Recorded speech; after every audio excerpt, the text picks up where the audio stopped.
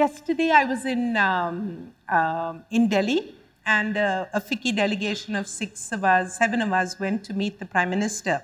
And Harsh was actually supposed to be with us, but I think he was organizing this session, so he didn't come.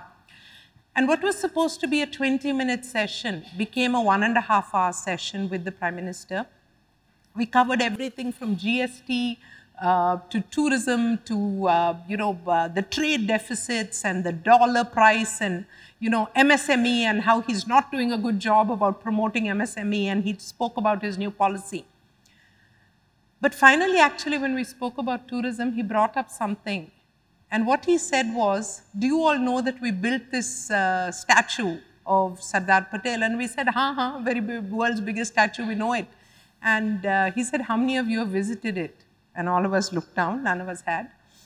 And he said that, you know, when the ideology is about unity, of bringing together, of recognizing someone who helped the country stay together, what is corporate India and what are people doing for us?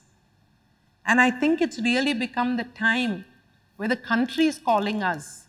So the Statue of Unity is just one small point to say we need to be proud about our country, we need to be proud about his ideologies. But I was very moved when he actually said that corporate India should take nationalism to a new level.